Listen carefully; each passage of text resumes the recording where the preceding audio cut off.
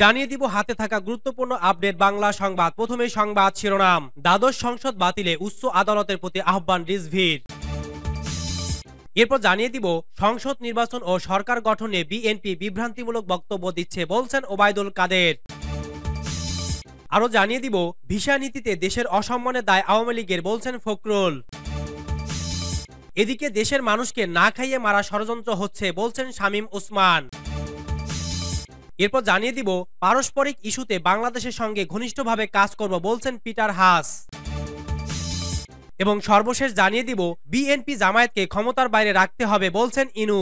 শুনছিলেন সংবাদ শিরোনাম, এখন বিস্তারিত। তবে অনুরোধ থাকবে, ভিডিওতে একটি লাইক করে দিন এবং কমেন্ট করে জানিয়ে দিন আপনার মূল্যবান মতামত।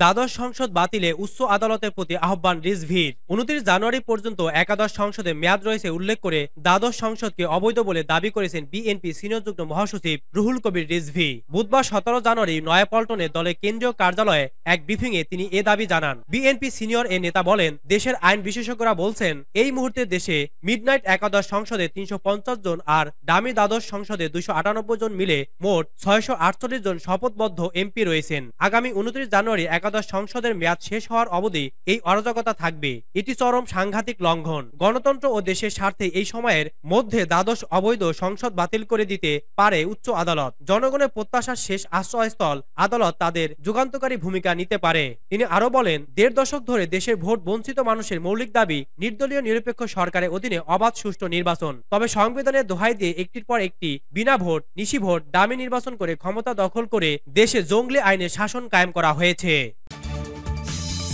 সংসদ নির্বাচন ও সরকার গঠন নিয়ে বিএনপি বিভ্রান্তিমূলক বক্তব্য দিচ্ছে বলছেন ওবায়দুল কাদের। সংসদ নির্বাচন ও সরকার গঠন নিয়ে বিএনপি বিভ্রান্তিমূলক বক্তব্য দিচ্ছে বলে অভিযোগ করেছেন আওয়ামী লীগ সাধারণ সম্পাদক ওবায়দুল কাদের। তিনি বলেন, দ্বাদশ জাতীয় সংসদ নির্বাচন নিয়ে সংবিধানে ভুল ব্যাখ্যা দিচ্ছে তারা। বিকেলে রাজধানী বঙ্গবন্ধু এভিনয়ে দলের কেন্দ্রীয় কার্যালয়ে মহানগর ও সহযোগী সংগঠনের যৌথ সভায় এসব কথা বলেন আওয়ামী লীগ সাধারণ সম্পাদক। আওয়ামী লীগকে গণতন্ত্র শেখাতে হবে না জানিয়ে জাদু দেখানো পিটার হাসও অভিনন্দন জানিয়েছে বলে মন্তব্য করেন ওবায়দুল কাদের। বঙ্গবন্ধু বন্ধু অভিনয়ে দলের কেন্দ্রীয় কার্যালয়ে আওয়ামী লীগ আয়োজিত ঢাকা মহানগর উত্তর ও দক্ষিণ এবং সহযোগী সংগঠনের সভাপতি, সাধারণ সম্পাদকের সঙ্গে যৌথ সভায় যোগদান সাধারণ সম্পাদক ওবায়দুল কাদের। তিনি বলেন, এবছর প্রতিদ্বন্দ্বিতামূলক নির্বাচন অনুষ্ঠিত হয়েছে।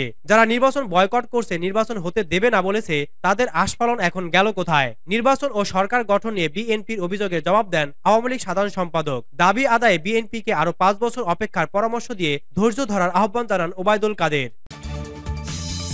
ভিসা নীতিতে দেশের অসম্মানের দায় আওয়ামী লীগের, বলছেন ফখরুল। সরকার জোর করে নির্বাচন করতে তৎপর বলে যুক্তরাষ্ট্র বাংলাদেশের জন্য অসম্মানজনক ভিসা নীতি ঘোষণা করেছে বলে মন্তব্য করেছেন বিএনপির মহাসচিব মির্জা ফখরুল ইসলাম আলমগীর। বলেছেন দেশের এই অসম্মানের দায় আওয়ামী লীগের। বিএনপি চেয়ারপারসন বেগম খালেদা জিয়ার মুক্তির দাবিতে রোববার বিকালে নয়াপল্টনে বিএনপির মহাসমাবেশে দলের মহাসচিব এই মন্তব্য করেন। ফখরুল বলেন, শুধু মার্কিন স্যাংশন নয়, এদেশের মানুষ এখন স্যাংশন দিচ্ছে এই সরকারকে।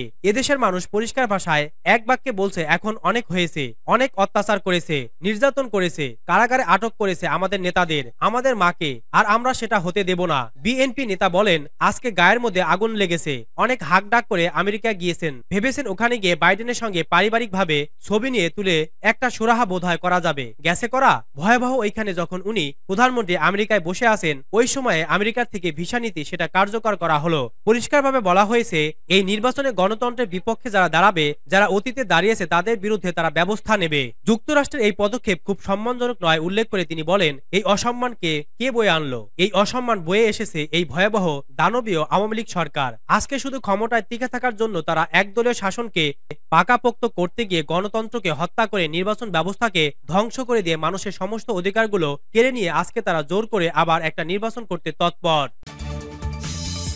দেশের মানুষকে না খাইয়ে মারা ষড়যন্ত্র হচ্ছে, বলছেন শামীম ওসমান। নারায়ণগঞ্জ চার আসনের সংসদ সদস্য A K M Shamim Osman বলেছেন, Awami League, BNP, Islamic front JaPa বুঝি না। ভালো মানুষ বুঝি কেবল। আমরা প্রেস ক্লাব, আইনজীবী, ইমাম সাহেব, পুরোহিত, ছাত্রছাত্রী সবাইকে নিয়ে মাদক সন্ত্রাস, চাঁদাবাজি বন্ধ করতে প্রত্যাশা নামে একটি সংগঠন গড়ব। ভিক্ষা চাই আপনাদের পায়ে ধরে। প্লিজ এই কাজে আমাকে সহযোগিতা করুন। আমি আল্লাহর ঘরে বলে আসছি, জানি আমি মরে যাব। প্রতি রাতে তবর নামাজ পড়ে শুই। সকালে যদি না উঠি, বুধবার সতেরো জানুয়ারি দুপুরে ফতুল্লা নাসিম উসমান মেমোরিয়াল পার্কে নির্বাচনোত্তর পুনর্মিলন অনুষ্ঠানে তিনি এসব কথা বলেন। ফতুল্লা থানা আওয়ামী লীগ ও অঙ্গ সংগঠন এ অনুষ্ঠানের আয়োজন করে। শামীম উসমান আরও বলেন, দেশের মানুষকে না খাইয়ে মারা ষড়যন্ত্র হচ্ছে। এমনও হতে পারে টাকা দিয়েও আপনি জিনিস কিনতে পারছেন না। সামনে আওয়ামী লীগের বিরুদ্ধে না, দেশের বিরুদ্ধে আরও অনেক গেম হবে। ভৌগোলিকভাবে অনেক কিছু ঘটছে। অনেক বড় বড় শক্তি এর সাথে জড়িত। আমরা একটি ক্রাইসিস ওভারকাম করতে যাচ্ছি। যা আসবে দেখা যাবে ইনশা আল্লাহ কারণ মাননীয় প্রধানমন্ত্রী শেখ হাসিনার প্রতি আমাদের ভরসা আছে। মৃত্যুকে এক পয়সা দাম না দেওয়ার নাম শেখ হাসিনা। দুঃখী মানুষের মুখে হাসি ফোটানোর নাম শেখ হাসিনা। একুশ বার চেষ্টা করেও তাকে মারতে পারেনি। শয়তান কোনোদিন আল্লাহ রহমতের সাথে পারে না। আল্লাহ যেন দেশের জন্য, আমাদের বাচ্চাদের জন্য শেখ হাসিনাকে বাঁচিয়ে রাখেন। নির্বাচনে ভোট প্রদানে অসহযোগিতার কথা উল্লেখ করে এই সংসদ সদস্য বলেন এমনিতে ইলেকশনের আগে বোম ব্লাস্ট করে ককটেল ফাটিয়ে নির্বাচন বানচালের চেষ্টা হয়েছে। এমনকি ভোট কেন্দ্রে গেলে লাশ ফেলার হুমকি দিয়ে মিছিল হয়েছে। আমার শ্বশুরবাড়ির মাত্র দুইজন লোক ভোট দিতে গেছে। তারা ভয় পেয়েছে কেউ যদি গাড়ি পরিয়ে দেয়, এরপরও কোনো সরকারি অফিসারের সাথে ইলেকশনের দশ দিন আগে থেকে কথা বলিনি। কেননা আমি চেয়েছিলাম ফ্রি ফেয়ার ইলেকশন করব, কিন্তু আমার ভোটের পার্সেন্টেজ যাতে কম হয়, সেজন্য অনেক কিছু করা হয়েছে।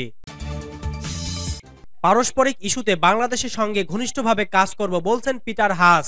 বাংলাদেশে নিযুক্ত মার্কিন রাষ্ট্রদূত পিটার হাস বলেছেন, পারস্পরিক গুরুত্বপূর্ণ ইস্যুতে আগামী মাসগুলোতে তিনি বাংলাদেশের সঙ্গে ঘনিষ্ঠভাবে কাজ করবেন। তিনি জলবায়ু, ব্যবসায়িক সুযোগ সম্প্রসারণ এবং সম্পর্কের অগ্রগতির জন্য দুই দেশের সহযোগিতার অন্যান্য ক্ষেত্রগুলোর কথা উল্লেখ করেন। আজ বুধবার পররাষ্ট্র মন্ত্রণালয়ে পররাষ্ট্রমন্ত্রী হাসান মাহমুদের সঙ্গে বৈঠক শেষে তিনি সাংবাদিকদের বলেন, আমি আমাদের পারস্পরিক স্বার্থকে এগিয়ে নিতে আগামী মাসগুলিতে খুব ঘনিষ্ঠভাবে কাজ করার অপেক্ষায় রয়েছি। তিনি বলেন, এটি যুক্তরাষ্ট্র বাংলাদেশ সম্পর্কে ভবিষ্যৎ নিয়ে কথা বলার একটি সুযোগ। রাষ্ট্রদূত পিটার হাসের সঙ্গে সাক্ষাতের পর মন্ত্রী হাসান মাহমুদ সাংবাদিকদের বলেন, আমরা জঙ্গিবাদ ও সন্ত্রাসবাদ মোকাবেলায় আরও মার্কিন বিনিয়োগের জন্য একসঙ্গে কাজ করার বিষয়ে আলোচনা করেছি। মন্ত্রী বলেন, অবাধ ও সুষ্ঠু দ্বাদশ জাতীয় সংসদ নির্বাচন নিয়ে বিদেশি রাষ্ট্রদূতদের পর্যবেক্ষণ নিয়েও তিনি পিটার হাসের সঙ্গে আলোচনা করেছেন। পরে পররাষ্ট্রমন্ত্রী বাংলাদেশে নিযুক্ত ইইউ রাষ্ট্রদূত চার্লস হোয়াইটলির সঙ্গে সাক্ষাৎ করেন।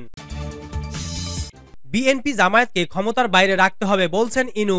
দেশে উন্নয়নের ধারা অব্যাহত রাখতে বিএনপি জামায়াতকে ক্ষমতার বাইরে রাখতে হবে বলে মন্তব্য করেছেন জাতীয় সমাজতান্ত্রিক দলের জাসদ সভাপতি হাসানুল হক ইনু। শনিবার বিকেলে কেন্দ্রীয় শহীদ মিনার প্রাঙ্গণে জাতীয় যুব জোটের তৃতীয় জাতীয় কংগ্রেসের উদ্বোধনী অনুষ্ঠানে তিনি বলেন, কোনো অবস্থাতে বাংলাদেশের রাজনীতিতে তাদের নাক গলাতে দেওয়া যাবে না। যে কোনো অবস্থায় সাংবিধানিক ধারা বজায় রাখতে হবে। বাংলাদেশের নির্বাচন ও গণতন্ত্র নিয়ে বিদেশিদের হস্তক্ষেপের সমালোচনা করে ইনু বলেন, বিদেশিরা যারা বাংলাদেশের নির্বাচন ও গণতন্ত্র নিয়ে মুখ খুলেছে, নির্বাচন ও গণতন্ত্র তাদের স্বার্থ না। তারা তাদের পছন্দের সরকার চায়। বিদেশিরা গণতন্ত্র ও জঙ্গিবাদের বিরুদ্ধে কথা বললেও জামায়াতের সঙ্গে মিটিং করে তারা একাত্তরে খুনিদের পক্ষ নেয়। এটা তাদের ভূ রাজনৈতিক স্বার্থ।